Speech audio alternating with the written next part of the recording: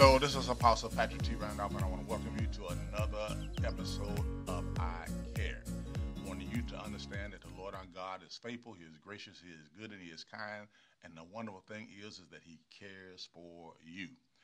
God is a great God, hallelujah, and He does awesome things. And you know, right now we live in a world that's in darkness. We live in a world that's so much chaos and so much things, so many things going on around us uh, that is just is almost if you didn't know God, hallelujah, you'd be in fear. But I thank God that you're not in fear. I thank God that you're putting your trust in a living God in this day because again, nothing but nothing can overcome the power of our God.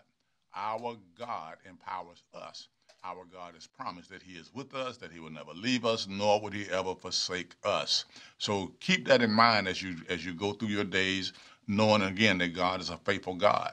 And the Scripture tells us right here in, in uh, Psalms 37, it says, "The power of the wicked will be broken, but the Lord supports those who do right." The Lord watches over their lives, over the lives of the innocent, and their reward will last forever. They will not be ashamed when trouble comes. They will be full in times of hunger. So, what is the Lord saying to us? Hallelujah. When things get bad, have no fear. When things get bad, keep your trust in Him because He will take care of you. Why? Because He cares.